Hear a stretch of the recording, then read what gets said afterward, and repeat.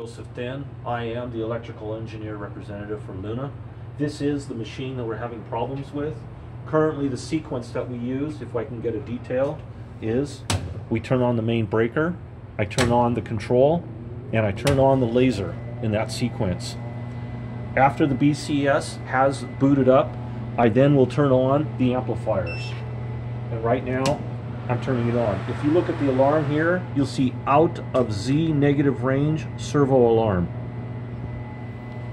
Now, you'll see that it's booting up and it'll show position. And there we go. It moves slightly and then it falls into position. Now, it still says out of Z negative range. When I go to F3 to do test, to correct the problem, if I press the up button, it says encoder no response.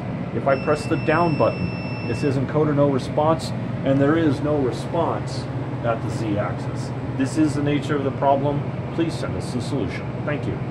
Can you tell us, like, we do, we went through all the wiring everywhere, right? Tell Oh we went yes. I've gone through all the wiring. I've even opened up the uh, Honda hoods to check the wiring internal inside the connectors. I checked it at the Z, uh, the Z servo itself, and checked the Cannon connectors. They're We all tested tight. the lasers, right? We've also, well, I haven't checked the laser yet, but here's my point. But did we risk life and limb, like testing this transformer and stuff? Yeah, I've checked all the. But man, it, this is dangerous, right?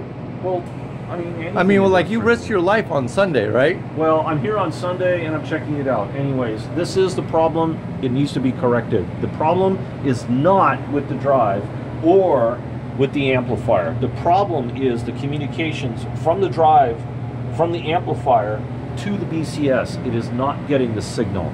And the specific is not getting the encoder. It says encoder, no response. That is the problem. Thank you, Mhm. thank you, thank you. And that that's just an example of what we have to put up with on any given Sunday, or twice on Sunday here at Luna, right?